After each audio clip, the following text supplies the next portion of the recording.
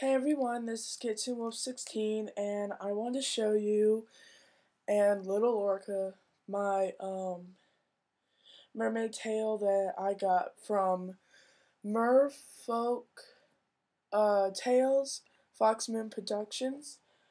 Um, I wanted to show the fluke.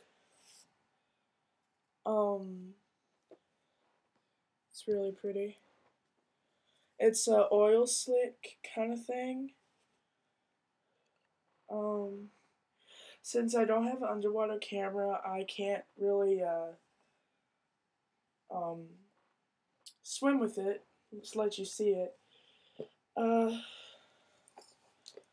the um, tail is really dirty. I have to take the monofin out and clean it. But it has add-on fins right here.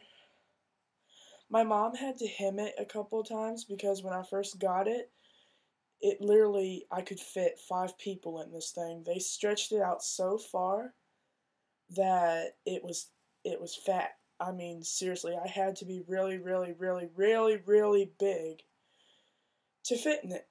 So we had to hem it a thousand times, and the fabric would still stretch and stretch and stretch, and I still can't really swim with swim with it on without it stretching and almost falling off. Um, also, I want to show on the back, the color is fading really badly. But, um, yeah, that's where they had to hem it. Uh,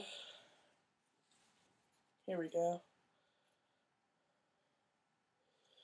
But also on the tail, that right there, that is from it scraping on the bottom of the pool and the fabric just wearing away.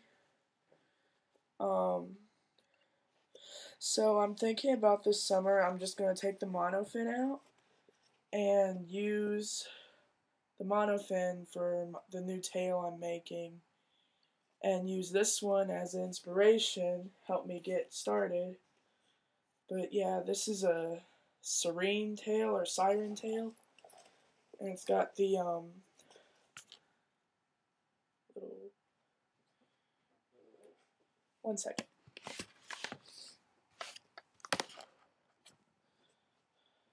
See? So Yeah, it's pretty. I love it a lot, but I don't know. I'm gonna make a new one.